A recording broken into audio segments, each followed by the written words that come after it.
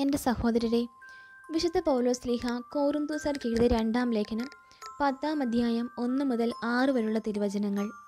അടുത്തായിരിക്കുമ്പോൾ വിനീതനും അകന്നിരിക്കുമ്പോൾ തന്റെടിയുമെന്ന് നിങ്ങൾ കരുതുന്ന പൗലോസായ ഞാൻ ക്രിസ്തുവിന്റെ സൗമ്യതയുടെയും ശാന്തതയുടെയും പേരിൽ നിങ്ങളോട് അഭ്യർത്ഥിക്കുന്നു. ഞങ്ങളെ ജഡികന്മാരായി കരുതുന്ന ചിലരുണ്ട്. അവരെ ധീര്യമായി നേരിടാമെന്ന ആത്മവിശ്വാസം എനിക്കുണ്ട്.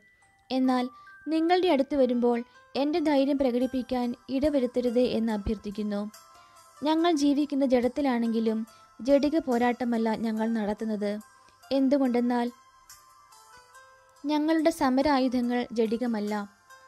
ദുർഗമങ്ങളായ കോട്ടകൾ തകർക്കാൻ ദൈവത്തിൽ അവ ശക്തങ്ങളാണ്.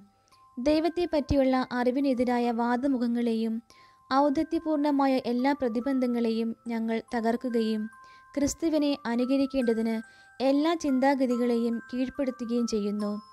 നിങ്ങൾ പൂർണമായി അനുസരിക്കുന്നവരായതിനു ശേഷം അനുസരിക്കാത്തവരെ ശിക്ഷിക്കാൻ ഞങ്ങൾ സന്നദ്ധരായിരിക്കുകയാണ്.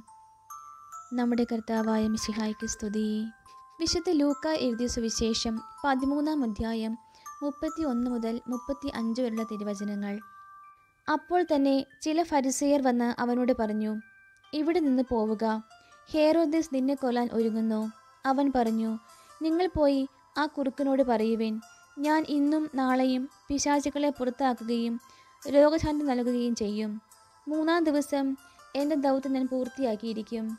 എങ്കിലും ഇന്നും നാളെയും മറ്റന്നാളും ഞാൻ എന്റെ യാത്ര തുടരേണ്ടിയിരിക്കുന്നു.